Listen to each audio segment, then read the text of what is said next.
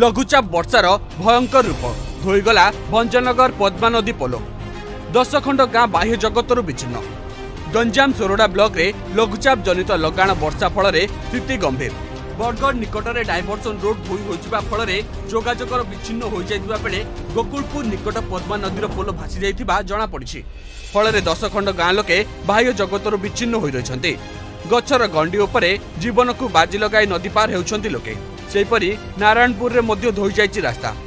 ଅଧପନ୍ତରିଆ bridge ଯୋଗୁଁ ଲୋକେ ନାଇଁ ନଥିବା ସମସ୍ୟାରେ ପଡ଼ିଛନ୍ତି। ଛତ୍ରପୁର ରଙ୍ଗେଇଲୁଣ୍ଡା ଗୋପାଳପୁର ବ୍ଲକର ସାତ ଖଣ୍ଡ ଗ୍ରାମବାସୀ ଏକ ପ୍ରକାର ବାହ୍ୟ ଜଗତରୁ ବିଚ୍ଛିନ୍ନ ରହିଛନ୍ତି। ଏବେ ସକାଳେ ଗଲାବେଳକୁ ମୋର ପାଣିରେ ପେଲି ପେଲି ଗଲି କାଲି ବି ଗଲି ସେମିତି। ହେଲା ମୁଁ ଏନ୍ ଏସ୍ ଡ୍ରାଇଭର ଆସୁଛନ୍ତି? ସରକାରୀ ଅଧିକାରୀ ମାନେ କିଏ ନାହିଁ ଖାଲି ପୋଲିସ ଦିଟା ଜଗେଇଛନ୍ତି ନା ଗାଡ଼ି ବନ୍ଦ କର ବନ୍ଦ କର।